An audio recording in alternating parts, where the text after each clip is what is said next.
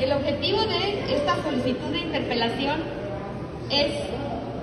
por los resultados de la gestión administrativa, financiera y presupuestaria de su cartera en los ejercicios fiscales 2021 y 2022. Como ustedes recordarán, desde el año pasado, quienes integramos la Comisión de Previsión Social, de lunes a lunes estuvimos citando a las autoridades de salud que nos rindieran cuenta sobre el Plan Nacional de Vacunación,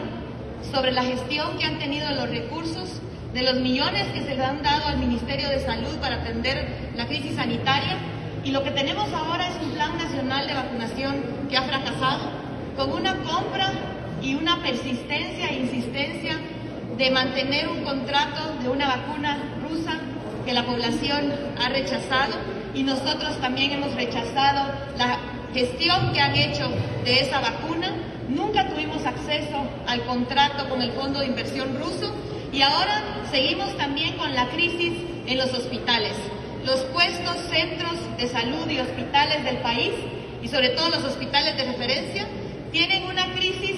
en un sistema de salud y en una gestión administrativa que no soluciona los problemas. Hay una crisis de adquisición de medicamentos y no solamente no hay medicinas, sino que las que están adquiriendo son de mala calidad.